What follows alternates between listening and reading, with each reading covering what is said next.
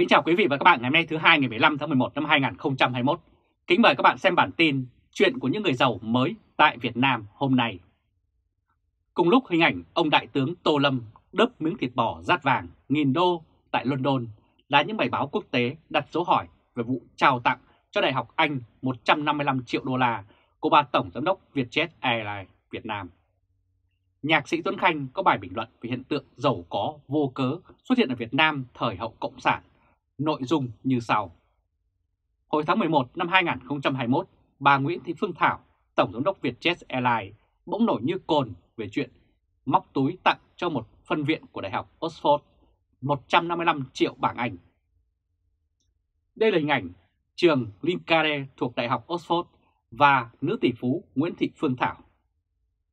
Chuyện của bà đã tạo ra nhiều hiệu ứng rất thú vị trong mạng xã hội ở Việt Nam.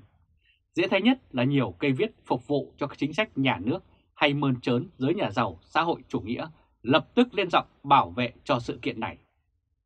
Một trong những ngôn luận nổi cộm là kiểu phê phán thói xấu của người Việt rằng không hiểu sao đám đông vẫn hay ghét người giàu vô cớ, ganh tị hoặc không công bằng với người làm ra của cải hôm nay. Dĩ nhiên, đọc là hiểu những ngôn từ đó nhằm bênh vực che giấu cho một lớp đại gia ngày hôm nay, trong đó không ít người bỗng vụt giàu lên như huyền thoại không có lời giải thích. Loại huyền thoại dễ bắt gặp của một tầng lớp thắng cuộc sau năm 1975. Nói nôm na là không khác mấy chuyện Alibaba một ngày chợt nhìn thấy cửa hàng châu báu rồi nghiễm nhiên trở thành ông chủ, bà chủ. Thật ra không ai tự dưng dòm ngó gì bà Thảo hay dưới nhà giàu cả. Chuyện bà bỏ ra một số tiền khổng lồ để nâng đỡ cho việc xây dựng chất xám của nước Anh và cả gia đình và cả cho giá trị của bản thân mình là quyền và lựa chọn riêng bà. Bất chấp những lời đồn thổi về nguồn gốc số tiền ấy, trong khi kinh doanh và bàn tán rằng vào tháng trước Vietjet của bà khai lỗ và kêu khó với nhà nước là hãng này đang thiếu hụt khoảng 10.000 tỷ đồng để hỗ trợ hoạt động sản xuất kinh doanh. Không thể phủ nhận rằng hôm nay Việt Nam có rất nhiều người giàu đã qua các thời Việt Kiều từ mọi phương trời về quê xòe tay khoe một nắm ngoại tệ khiến ai cũng xanh mắt. Giờ thì thế hệ mới từ trong nước bay ra nước ngoài, mua cả một siêu thị, mua 5-3 căn hộ một lúc bằng tiền mặt là chuyện bình thường. Đây là hình ảnh báo chí Việt Nam mới đây xôn xao vì Bí thư Thành ủy Tam Kỳ có giấy phép đặc biệt đưa con giả nội lên máy bay du học ở Mỹ giữa lúc đại dịch Covid-19 bùng phát mạnh. Chuyện còn quản chức du học ở Âu Mỹ giờ đã quá phổ biến ở xã hội Việt Nam. Dân làm lụng đầu tắt mặt tối, đóng thuế, sôi mồ hôi cho chính phủ tư bản ngần người hỏi nhau vì sao họ nhiều tiền đến như vậy, họ làm cách nào mà giàu đến như vậy. Việt Nam là một quốc gia chứa nhiều bí ẩn, mang màu sắc dị thường. Từ những chuyện những bà mẹ, vợ của những người bị đẩy vào trại học tập cải tạo, làm sao để nuôi lớn được những đứa con nheo nhóc của mình, làm sao có thể giữ được gia đình tồn tại được ở miền Nam sau năm 1975. Trong thời kỳ dò xét và khắc nghiệt ngăn sông cấm chợ qua từng ngày, cho đến một ngày lại đột nhiên thấy lớp nhà giàu mới nổi lên ở khắp nơi, cất giọng hoành hoàng, dạy dỗ trên cả truyền hình, báo chí. Những người giàu nhất được suýt xoa, mô tả và đôi khi khoác lên một cái áo yêu nước, nhưng không phải chắc có mấy ai trong số đó là có một hồi ký chân thật về đời mình và cách làm giàu của mình. Và khi những người giàu mới xuất hiện nhiều hơn, họ không kiềm chế nổi sự xoa hoa hay sự thèm muốn chứng minh đẳng cấp quyết định của mình, thì cũng sản sinh ra một lớp người ve vuốt và bảo vệ cho giai cấp ấy. Hơn 30 năm trước ở miền Bắc cũng như miền Nam, khi được hô là nhà giàu thì không ít người tái mặt. Giờ thì khác, hợp thức hóa đời sống giàu có là một nhu cầu bức thiết trong đời sống chính trị của giai cấp cách mạng vô sản cầm quyền. Đây là hình ảnh nguyên Bộ trưởng Trần Tuấn Anh và vợ, người mẫu bà Thủy Hương và con trai đi nước ngoài về, được mang xe biển số 80A của chính phủ đến tận chân cầu thang máy bay đón về đã khiến cho dư luận xôn xao. Ở nhiều khu định cư của người Việt Nam trên khắp thế giới, người ta vẫn hay giật mình chứng kiến sự xuất hiện của lớp người mới ấy. Còn có thêm con cái, tài sản dịch chuyển vân vân, toàn là người bên Việt Nam mới qua, lưu dân là người Việt nói khẽ với nhau. Nhưng điều lạ đó không phải là những người Việt mà chúng ta vẫn thấy mỗi ngày trên các trang báo truyền hình từ trong nước. Những người cơ cực không thể ngẩng đầu và những người bị bỏ tù vì lên tiếng trước những điều trái khoái, hay gần nhất là những người tháo chạy về quê giữa đại dịch trong niềm tuyệt vọng. Thỉnh thoảng ở những cuộc trả nước ở vỉa hè cũng có những cuộc tranh luận về nguồn gốc của người Việt giàu có, thượng lưu của đất nước hôm nay. Dĩ nhiên có những người cả đời gây dựng và tạo nên của cải đáng tự hào, làm nên những giá trị có thật. Nhưng cũng có rất nhiều trường hợp mà sự bùng phát phồn thịnh của họ hay gia đình họ có thể làm chúng ta ngỡ ngàng. Trên báo chí, thỉnh thoảng có người tự tiết lộ giải thích rằng họ đã qua một thời dài buôn bán trổi đót hay làm men giá đỗ, trồng cây cảnh, vân vân.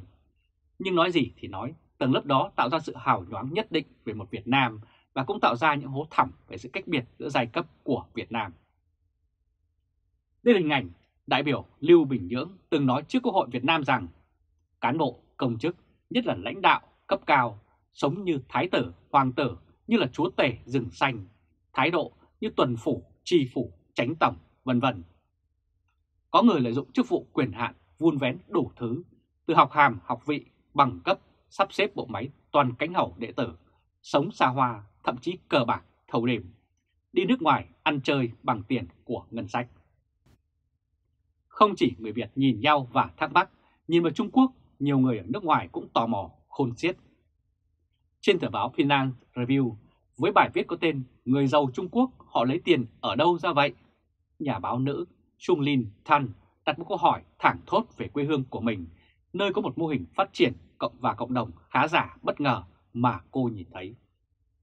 Một trong những biểu hiện của cộng đồng khá giả đó là họ luôn mang căn bệnh cố phô ra hình ảnh giai cấp của họ. Nếu để ý, bạn cũng thấy một người Việt Nam lâu nay cũng có một tầng lớp thích giới thiệu mình như vậy với đủ các chiều đạo đức giả lẫn biểu lộ sự trờ chẽn. Sâu thẳm trong việc trình bày sự giàu có của mình có không ít những đại gia muốn được chính danh trong đời sống chứ không cần e rẻ che đậy như nhiều năm trước đây, dường như thời đó đã tới rồi. Tháng 6 năm nay trên tờ báo Tại Hồng Kông trong bài Indonesia nhằm vào những người châu Á siêu giàu với 35% thuế thu nhập để kích thích nền kinh tế bị ảnh hưởng bởi virus corona. Tác giả viết cho rằng chính phủ Indonesia đang dò tìm để xem những kẻ giàu điên cuồng, giàu không giải thích được là như thế nào để đánh thuế thu nhập lên 35%. Nghe tin không thì hỏi rằng Indonesia, đất nước cầm ghét cộng sản đến tận xương tủy, nhưng hành động không khác gì lý thuyết tinh thần cộng sản cao quý đã mất ở châu Á.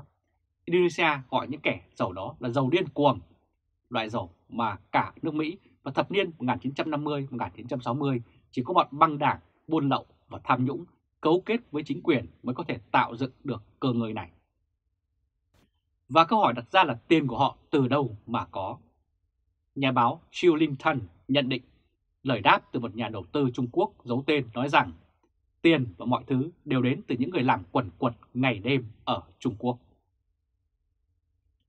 Đây là hình ảnh ông Bộ trưởng Bộ Công an Tô Lâm đã đớp miếng thịt bò rất vàng hàng nghìn đô trong bữa ăn ước tính chi phí đến tới hàng tỷ đồng, khiến dư luận chưa hết xôn xao. Việc này đã xảy ra tại London. Bộ phim Richard ASEAN phát hành vào năm 2018 là một lời giải thích nhỏ cho việc này. Mặc dù phim mượn bối cảnh ở Singapore chứ không phải ở Trung Quốc, nhưng câu chuyện thì đầy gợi ý. Rõ ràng có nhiều loại của cải ở châu Á, nhất là các nước độc tài cộng sản mà nhiều người ở phương Tây không thể nào hiểu được. Tôi đã từng chứng kiến nhiều người phương Tây há hốc mồm trong một buổi bán biệt thự đắt tiền hoặc một bữa tiệc châu Á ngập tràn Prada và trứng cá muối. Nhưng nên nhớ, phía sau những điều đó vẫn là vô số người nghèo của đất nước họ.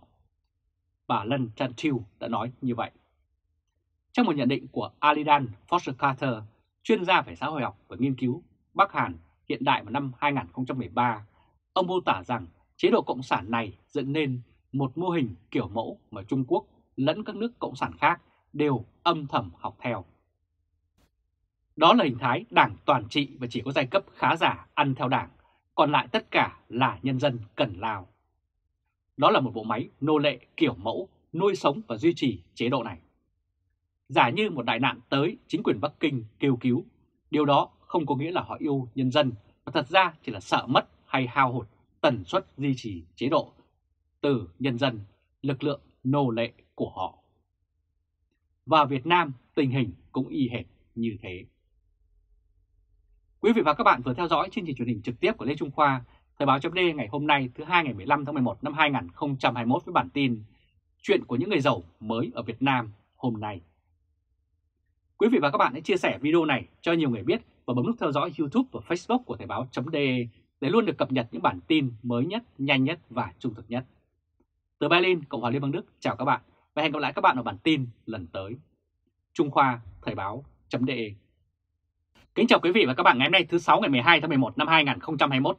Kính mời các bạn xem bản tin Thói đức đòi đức giả của các quan chức có nguyên nhân thể chế. Thói đạo đức giả thường được che đậy tinh vi nhưng bộc lộ trong điều kiện không bình thường như thời chiến chống dịch COVID-19.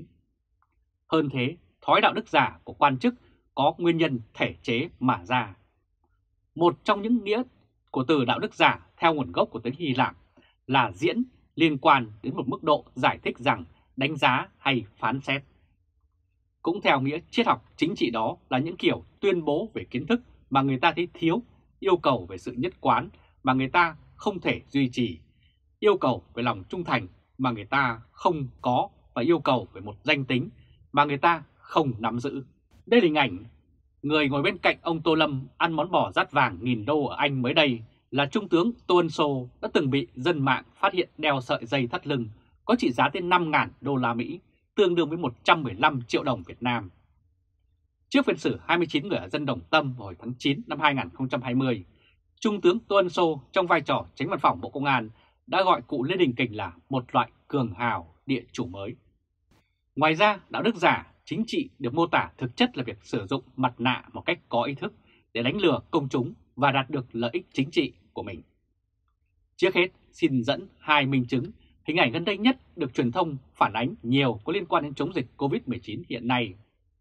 Đầu tiên, nếu bạn để ý theo dõi các phát ngôn của lãnh đạo trong chương trình thời sự của Đài truyền hình Việt Nam, thì cụm từ mỗi phường, mỗi xã là một pháo đài chống dịch là câu cửa miệng.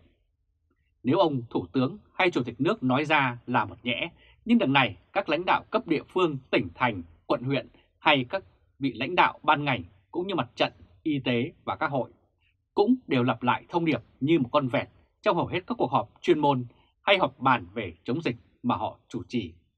Đành rằng đây có thể là phương châm chỉ đạo, nhưng cụ thể như lực lượng y tế cứu trợ ở mỗi địa phương, mỗi cấp thế nào thì không có phương án thực hiện. Và tại sao ông chủ tịch thành phố hay chủ tịch quận không đi kiểm tra cấp cơ sở, để đến khi ông thủ tướng kiểm tra đột xuất thì mới rõ ở phường thậm chí không có ai là lãnh đạo trực và không có bất kỳ phương án phòng chống dịch nào.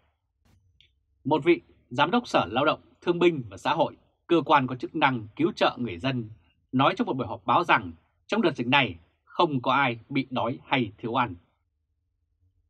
Đây là hình ảnh ông Lê Minh Tấn, Giám đốc Sở Lao động, Thương binh và Xã hội Thành phố Hồ Chí Minh, người đã nói câu không có ai thiếu ăn khốn khổ vì dịch. Khi báo chí dẫn lời ông thì ông ta cãi rằng không nói như vậy cho đến khi phóng viên đưa băng ghi âm làm bằng chứng ông ta mới buộc phải nhận.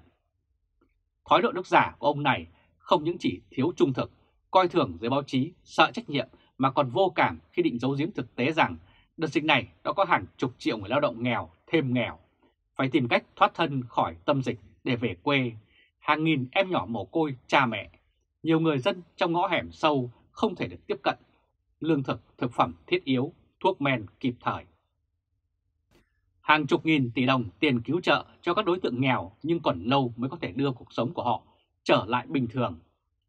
Thói đạo đức giả của quan chức có hai nguyên nhân chủ quan và khách quan. Trước hết, cá nhân các quan chức không tự giác tu dưỡng, rèn luyện theo các chuẩn mực đạo đức. Họ cũng chẳng nghe theo lời gian dạy hay tấm gương của lãnh tụ mà hàng ngày họ vẫn ca tụng, nên đã dần dần suy thoái đạo đức, lối sống trở nên tệ hại. Hơn thế, nhiều kẻ trong số họ có quyền chức bằng cách trực tiếp hay gián tiếp bổ nhiệm cán bộ, nhân viên theo cái gọi là trật tự ưu tiên, gồm nhất hậu duệ, nhi tiên tệ, tam quan hệ, tứ đổ đệ, khiến tình hình suy thoái trở nên nghiêm trọng hơn, mang tính hệ thống. Cũng vậy, nguyên nhân sâu xa là do thiếu cơ chế kiểm soát quyền lực cần thiết như đối trọng chính trị, cơ chế công khai minh bạch, giải trình trách nhiệm trước nhân dân. Đây là hình ảnh người viết quyển sách phòng chống tự diễn biến tự chuyển hóa trong cán bộ. Chính là ông Bộ trưởng Bộ Thông tin và Truyền thông Trương Minh Tuấn đã vì ăn hối lộ nên đã bị xử tù giam trong vụ AVG. Đạo đức là thuộc tính cá nhân, thường hình thành trong mối quan hệ tương tác ở đời sống thực của xã hội. Trong đó, thể chế chính trị và kinh tế, đời sống người dân và các quan chức là các bộ phận liên quan và tác động qua lại. Tuy nhiên, chế độ toàn trị đã tách biệt hệ thống chính trị, trong đó chế độ đặc quyền đặc lợi riêng, công tác cán bộ là khép kín. Nội bộ xa rời cuộc sống thực trạng đang chịu tác động bởi thị trường, đòi hỏi sự phân quyền và các giá trị dân chủ. Trong bối cảnh xa đảng, gần tiền, chủ nghĩa xã hội đã phát phát tác và các quan chức bề ngoài như lời nói cao đạo tỏ ra trung thành với đảng, với lãnh tụ, lý tưởng cộng sản, nhưng bên trong là hành vi nhận hối lộ, tham nhũng, tiêu cục vô cùng ghê gớm. Và chiến dịch đốt lò chỉ là giải pháp cho phần nổi của tảng băng trôi. Kẻ đạo đức giả chỉ lộ diện khi quá khứ nhung chàm bị phát hiện và đưa ra tòa. Nhưng con số này thì không xuể với gần 5 triệu đảng viên Đảng Cộng sản Việt Nam vì chỉ những người này mới có thể tham nhũng được mà thôi. Cũng có nhiều minh chứng cho nhận xét này, xin dẫn một vài trường hợp xảy ra gần đây như sau. Một vị giáo sư, tiến sĩ, giám đốc một bệnh viện lớn của nhà nước vừa kết thúc chỉ đạo chống dịch với tư cách là giám đốc một bệnh viện giã chiến trong vùng tâm dịch. liền bị truy tố về tội lợi dụng chức vụ quyền hạn, làm trái quy định đấu thầu, thiết bị y tế, gây hậu quả nghiêm trọng. Đây là hình ảnh ông Nguyễn Quang Tuấn, nguyên đại biểu, giám đốc bệnh viện Bạch Mai vừa bị khởi tố vì tham nhũng. Ông ta từng có nhiều phát ngôn, lời hay ý đẹp trên nghị trường về y đức, về phẩm chất của người cán bộ lãnh đạo và về nỗi đau của bệnh nhân, nỗi nghèo khó của gia đình họ, vân vân. Khi ông là đại biểu Quốc hội khóa 14. Ông này từng là một trí thức giỏi chuyên môn, từng được đảng để bắt tới nâng đỡ, tạo cơ hội quy hoạch theo cán bộ lãnh đạo cấp chiến lược.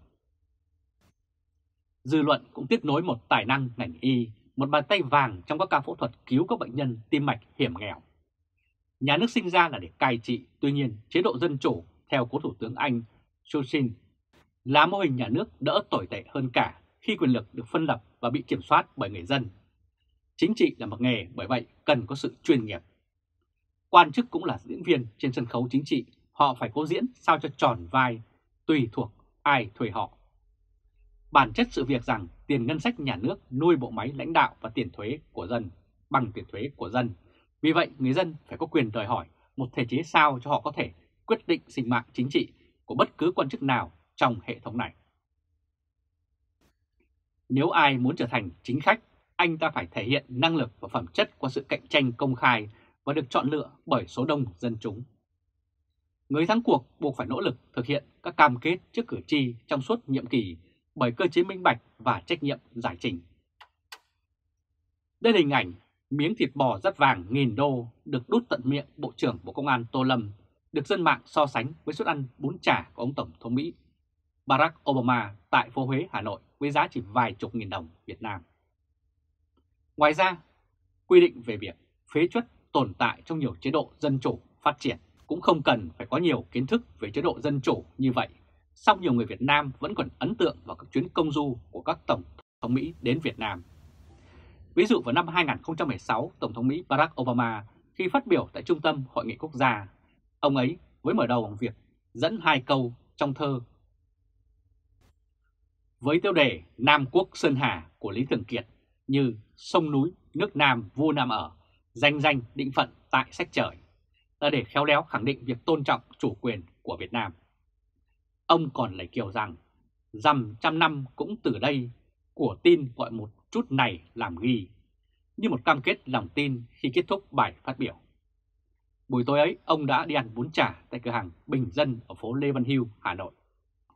Thói đạo đức giả của quan chức Việt Nam cũng cần bị lên án và loại bỏ khỏi sân khấu chính trị bởi cơ chế kiểm soát quyền lực bởi nhân dân, phù hợp với thực tế thị trường, liệu cải thiện hiện nay có thể hướng đến một thể chế như vậy hay không ở Việt Nam đang là câu hỏi được đặt ra và cần sự nỗ lực của hàng triệu người dân trong nước cùng hưởng ứng. Quý vị và các bạn vừa theo dõi chương trình truyền hình trực tiếp của Lê Trung Khoa, Thời báo chấm ngày hôm nay thứ 6 ngày 12 tháng 11 năm 2021 với bản tin Thói đạo đức giả của quan chức có nhiều nguyên nhân thể chế. Quý vị và các bạn hãy chia sẻ video này cho nhiều người biết và bấm nút theo dõi YouTube và Facebook của Thời báo chấm để luôn được cập nhật những bản tin mới nhất, nhanh nhất và trung thực nhất. Từ Berlin, Cộng hòa Liên bang Đức, chào các bạn và hẹn gặp lại các bạn ở bản tin lần tới. Trung Khoa.